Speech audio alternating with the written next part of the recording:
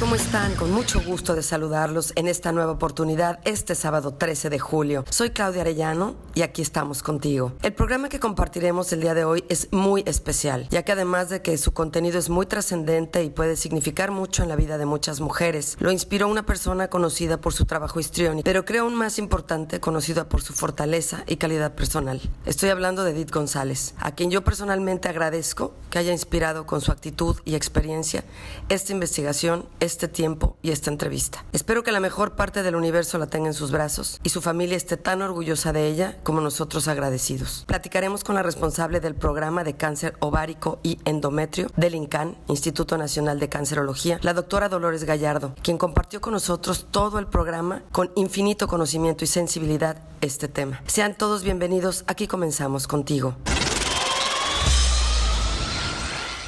¿Qué tal? ¿Cómo están? Me da muchísimo gusto saludarlos. El día de hoy tengo una súper invitada, de verdad lo digo, con mucho respeto. Está conmigo la doctora Dolores Gallardo Rincón. ¿Cómo estás, Dolores? Yo estoy muy contenta de estar aquí Te aprecio mucho que estés aquí. ¿Eh? Claudia, mucho, muchas mucho. gracias.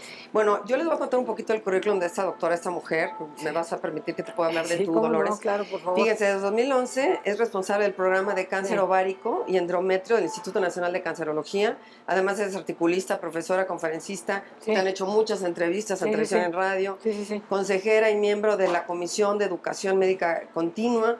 eh, Eres sinodal del Consejo Mexicano de Oncología, presidenta y fundadora del Grupo de Investigación en Cáncer de Ovario en México. En bien, miembro permanente del, de gine- del Gynecologic Cancer Intergroup también. En fin, Pues bueno. ¿qué les digo? ¿Qué les digo? La verdad es, Investigadora del Sistema. Nacional, que eso es, lo digo porque hay Sí, que hacer sí. investigación. sin duda. No, no, yo mis respetos y de veras te No, agradezco gracias, Claudia. muchísimo que estés con nosotros. Muchas gracias. Mira, estamos platicando antes de empezar esta entrevista que, bueno, pues esto eh, viene obviamente a colación de lo que acabamos de vivir todos, que nos afectó y nos dolió muchísimo, la conociéramos o no Edith González, que además lo quiero decir con entrañablísimo respeto. Yo la llegué a ver un par de veces, pero realmente no, no la traté ni la conocía. ¿Cómo no? Pero eh, lo que me ha dejado a mí, me ha dejado reflexión y reflexión y reflexión todos los días desde que se nos adelantó. Y, y incluso me atreví a, a tomar esto, es un audio del programa Don Francisco, donde ella, ella estuvo ahí presente, que ella estaba malita y, y luchando, porque me parece tan inspirador. Y yo dije, yo lo quiero tener en mi teléfono, aunque uno dirá, ay, no, pues está oyendo su voz, es fuerte. Pues sí, pero al final eh, creo que lo que dice es tan bello. Mira, a ver si se alcanza a escuchar aquí en mi micrófono. Sí.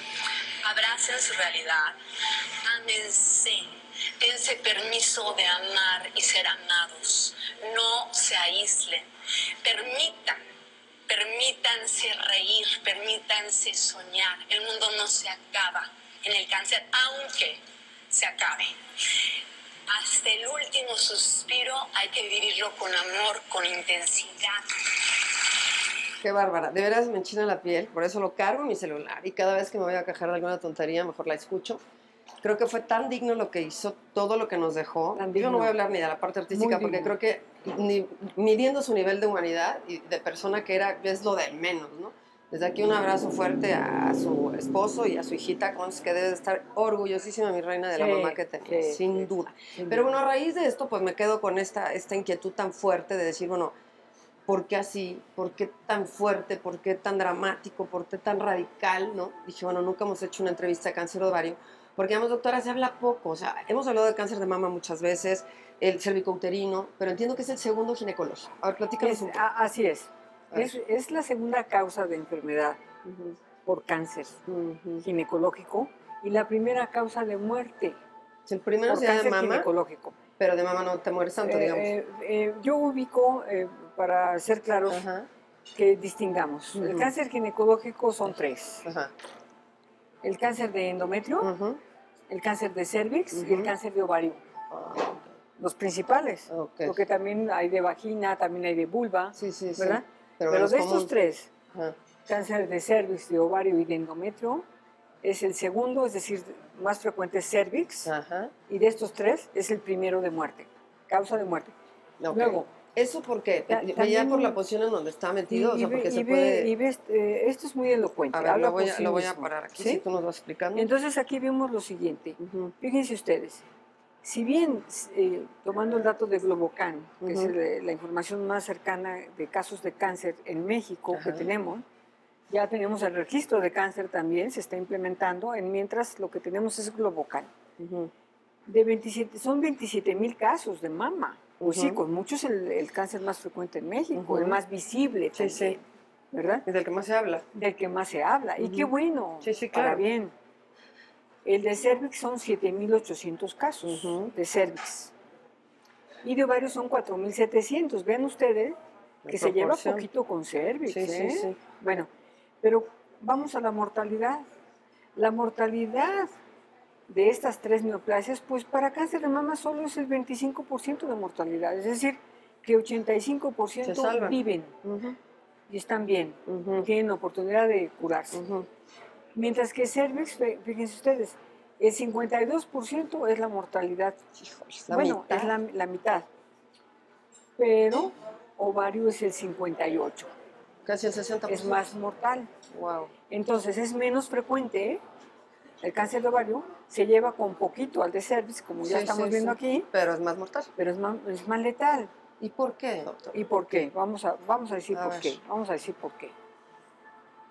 Mm, ¿Por qué el cáncer de ovario es realmente un problema mayor de salud pública de lo que es cervix y mama? Primero, Incluso, perdón, tú luchaste porque se metiera el Seguro Popular en su momento, en- ¿no? y junto con más oncólogos, ¿Y en qué quedó eso? Digo, ya, está, seguro, ¿eh? pero... ya está dentro del Seguro Ah, Popular. sí está. Ya está. Ok. Pero, por ejemplo, apenas el año pasado es que más estados se dieron de alta para el Seguro Popular, pero hoy, por ejemplo, Claudia, solo la mitad del país está acreditado. 16 estados de la República solamente tienen acceso al Seguro Popular. Sí, pues Es nada, es que ya cambió todo. pero hay, eh, hay otro tema, Ujú. eh, digo, eh, cuenta mucho, ¿eh? Ujú, Es ujú. muy bueno que la mitad esté acreditado, Sí, bueno, claro. pero digo, para la magnitud del problema, Sí, no, no. Eh, hemos recorrido, eh, eh, todavía necesitamos mucho camino por recorrer. Tenemos. ¿Por Ujú. qué? ¿Por qué digo, por qué digo esto? Porque, muy bien, hay 16 estados cubiertos la 16 y 16 no. Luego, la calidad de la atención. Luego, ¿qué tan tarde llegan las mujeres con cáncer de ovario? Es que es casi, leía también que es muy silencioso, ¿no? Sí, mira.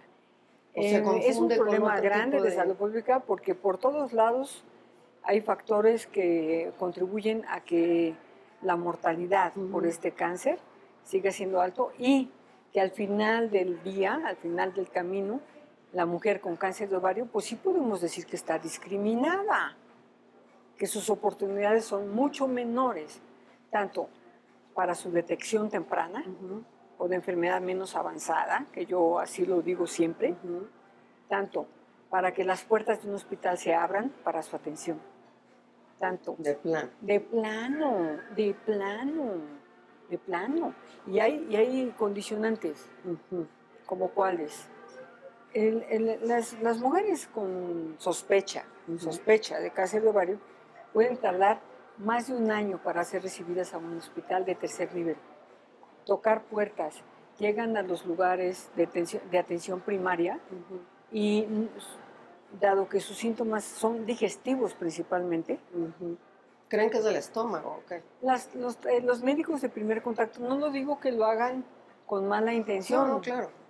Pero hacen una consulta, por eso estamos trabajando mucho en capacitación, en mejorar el nivel de, de- de- de reconocimiento de síntomas. O sea, esto tendría Crean- que, eh, vamos, perdón, este, Sí. verlo un ginecólogo de entrada, ¿no? Y el ginecólogo hacer exploraciones, entiendo, más profundas si tiene ciertos síntomas.